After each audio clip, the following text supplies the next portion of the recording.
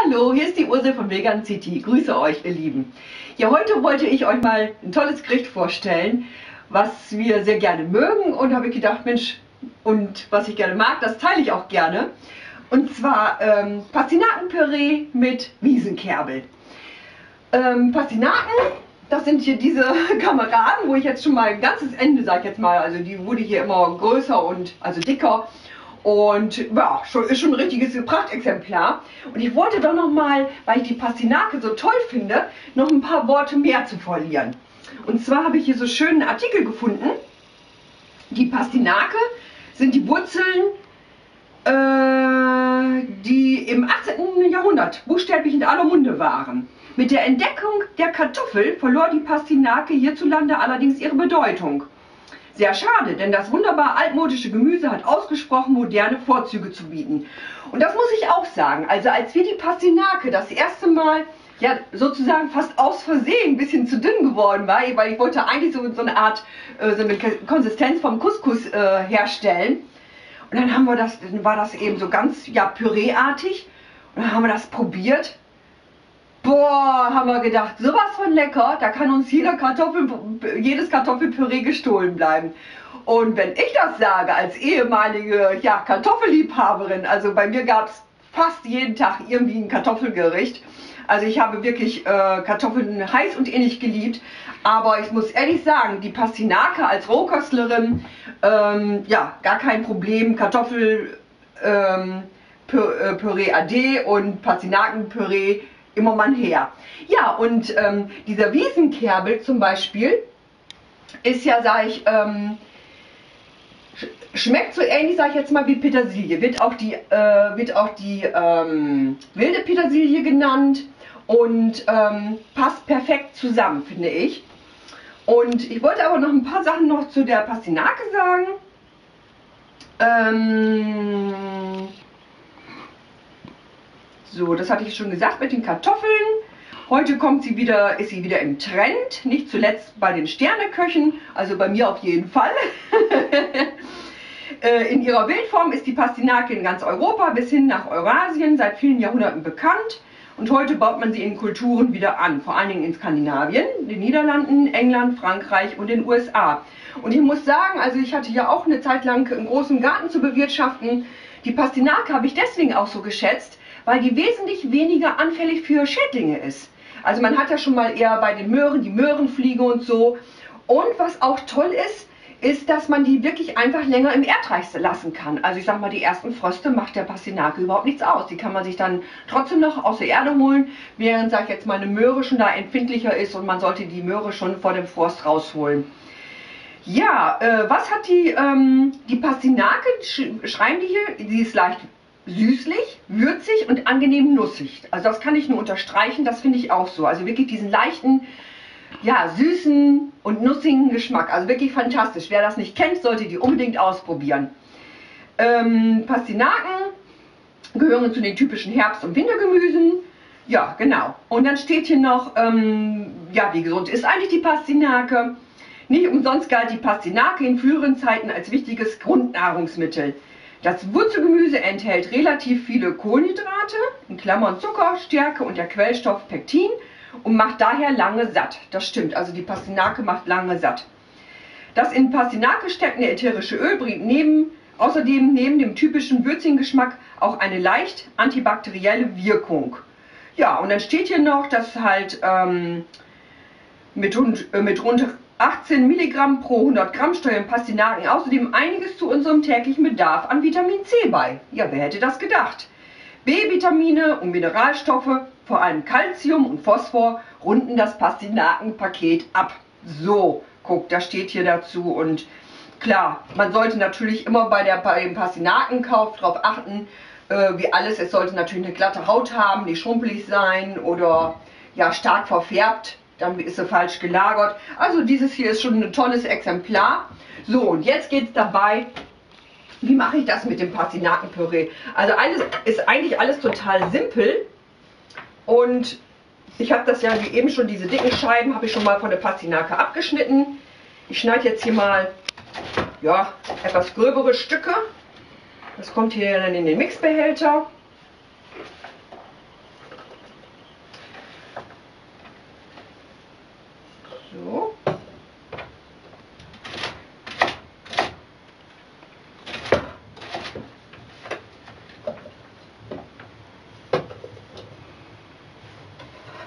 Ja, und so hin und wieder überkommt es einen ja doch, dass man sagt, sagt oh Mensch, ähm, so ein bisschen Nostalgie kommt vielleicht auf, selten, aber kommt vielleicht mal auf, dass man sagt, oh ja, da mache ich mir statt Kartoffelpüree eben einfach ein wundervolles äh, Pastinakenpüree und äh, tja, das muss ich sagen, hat natürlich enorm viele Vorteile, es verkleistert nicht, man hat ähm, ja, die pure, rohe, vor Vitalität strotzende Pastinake. Also schon rundum feine Geschichte. Ja, ich nehme hier natürlich wieder das ähm, Osmosewasser. Äh, zum Wasser, wer das noch nicht kennt, die zwei Videos verlinke ich unter, unten unter diesem Video in der Infobox. So will ich mal gucken. Ich hoffe, ich, naja, wenn nicht, wenn das nicht genug Wasser ist, kann ich ja noch was dazu tun. Ich gebe das hier in meinen X-Behälter. So. Gucken.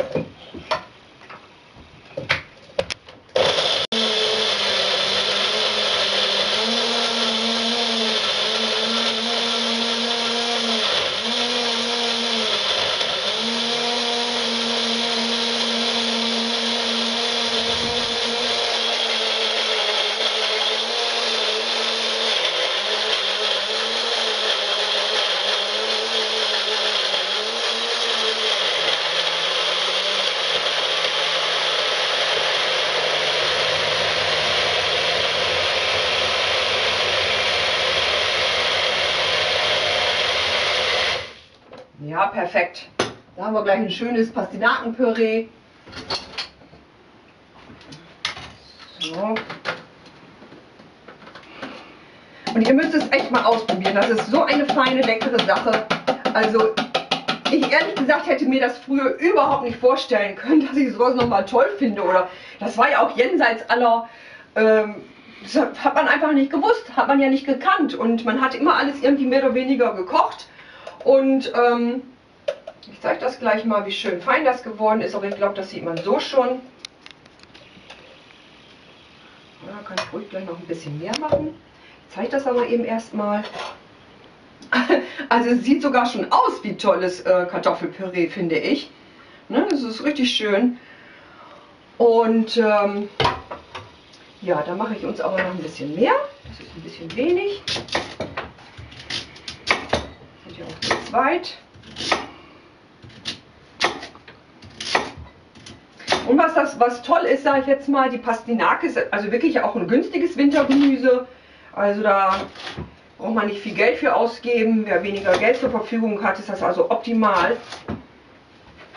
Und man soll ja sowieso weitestgehend saisonal einkaufen.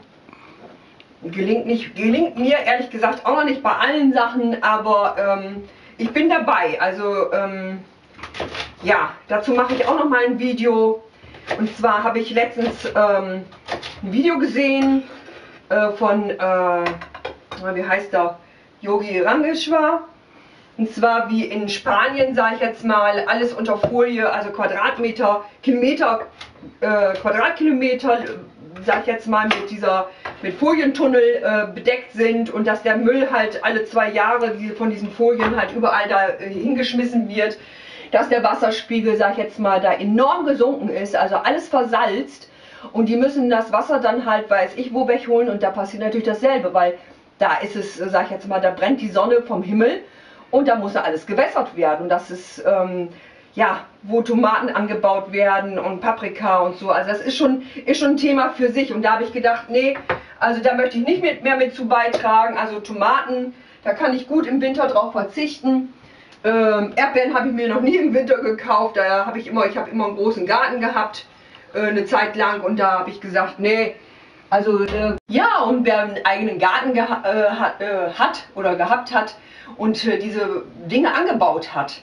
Äh, und ich hatte ja, sage ich jetzt mal, ohne, immer schon ohne Chemie und so weiter gearbeitet der weiß einfach, wie eine richtig gute Erdbeere schmecken muss. Und ähm, so ist es eben oft, sag mal, die Erdbeeren, die eingeflogen werden oder so. Also, puh, ich finde, das schmeckt, also ehrlich gesagt, also nichtssagend. Und ich finde mein Geld zu schade, sage ich jetzt mal, äh, für solche Dinge dann halt Geld auszugeben. So, okay, dann habe ich hier Wasser dazu getan. Dann mache ich mal schnell die zweite Fuhre. Mmh. Also man könnte meinen, ich habe hier eben ein bisschen Pastinakenpüree ähm, so aufgenommen. Man könnte wirklich meinen, da wäre schon irgendwie Süße mit dazugegeben oder so. Ist es aber nicht. Es ist wirklich die Pastinake pur. Es ist echt unglaublich.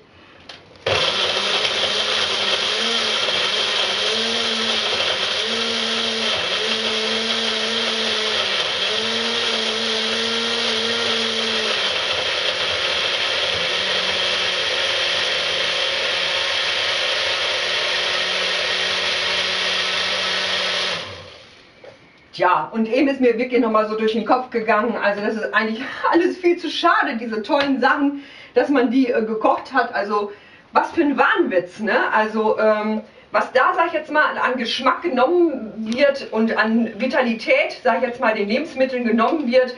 Also ich weiß schon, warum ich, sag ich jetzt mal, ja, mit der Rohkost angefangen bin, aus lauter Neugierde. Und weil ich das ausprobieren wollte und äh, der Geschmack mich dann doch einfach überzeugt hat und äh, nicht nur der Geschmack, sondern auch klar, auf Dauer ähm, bleibt es natürlich nicht aus, dass das auch so seine körperliche Wirkung zeigt.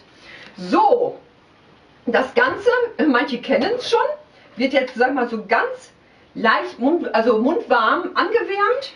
Ich habe hier, ähm, ja, das sieht man ungefähr, ein äh, Esslöffel Kokosfett dazu getan. Ist natürlich alles ja, wie, wie eigentlich fast alles oder alles hier, äh, ja fast alles, ähm, hat äh, äh, Rohkostqualität.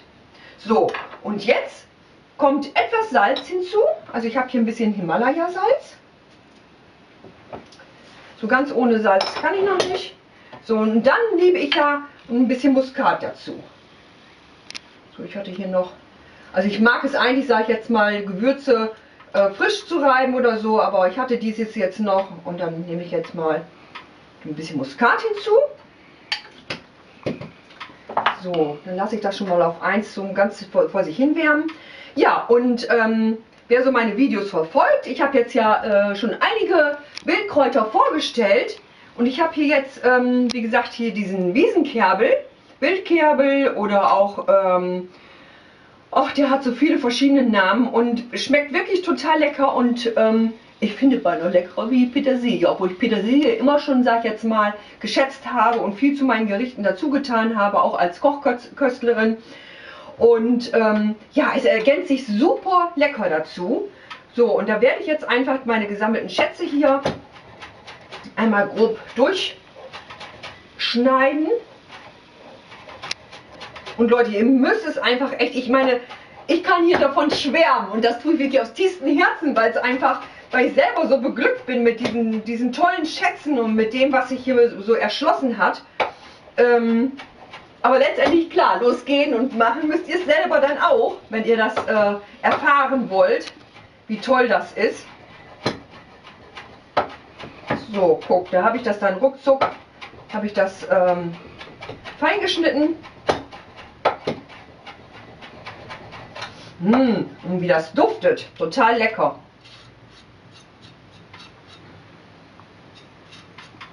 So. Natürlich passt, sag ich jetzt mal, ähm, passen ja alles an Wildkräutern dazu. Also wir sind jetzt, äh, wir waren gestern zum Beispiel im Wald, waren wir Wildkräuter sammeln und ähm, wir waren gar nicht so lange drin. Da hatten wir einen ganzen Korb voll, also so ein Schüsselchen voll mit ähm, Waldschaumkraut, also das schmeckt so Kresseart äh, ähnlich, davon werde ich auch noch ein Video machen, das habe hab ich noch nicht gemacht. Dann hatten wir Knoblauch, dann haben wir auch äh, am Rand haben wir dann halt Wiesenkerbel gefunden. Ähm, dann haben wir äh, Brennnessel gefunden, auch äh, sehr schön. Und ähm, ja, das waren so die Sachen, wo ich mich jetzt im Moment spontan so dran erinnern kann. Und das alles sage ich jetzt mal mehr oder weniger, sage ich jetzt mal, ja, in so einer halben Stunde oder drei, ja, also ruckzuck. Ich meine, es ist ja schön, wenn man jetzt einmal einfach auch im Wald spazieren geht und dann äh, äh, pflückt man hier ein bisschen was und da ein bisschen was und hat man frische Luft gehabt, hat im Wald tolle Energie getankt und hat noch nebenbei was im Pöttchen. Ist das nicht schön? und Steuern musste man auch mal drauf zahlen, also das ist schon mal ganz herrlich.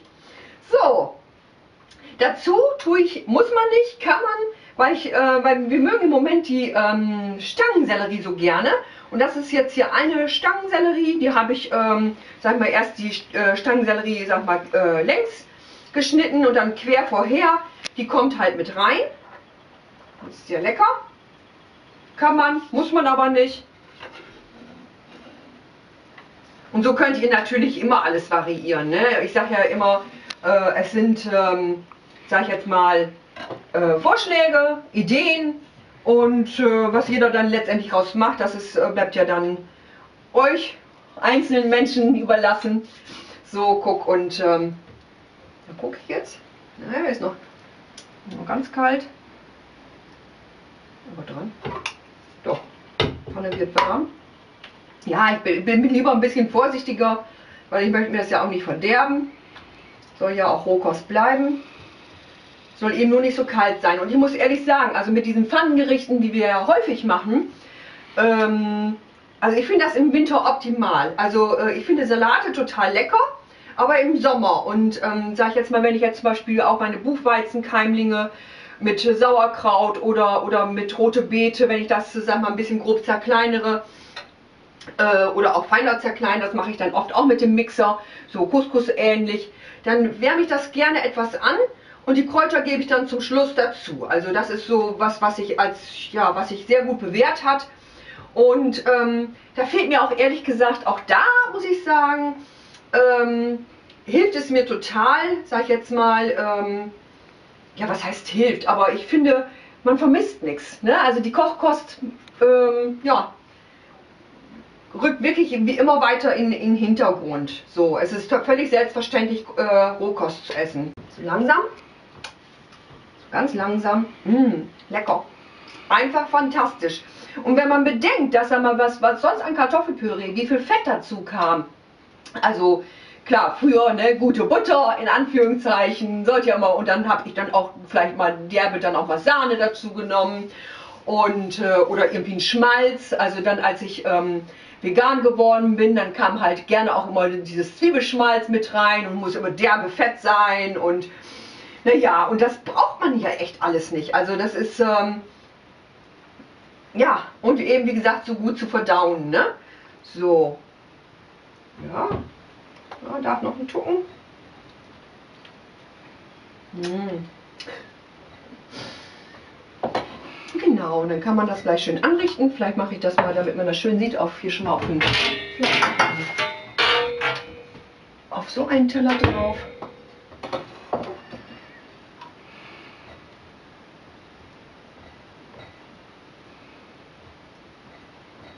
Ja, ich denke, das dürfte schon reichen.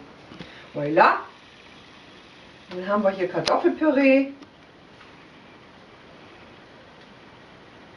Mit herrlichsten frischen, frisch gesammelten Wiesenkerbel. Gucken, jetzt kann man so ein bisschen vielleicht einfach nochmal unterrühren.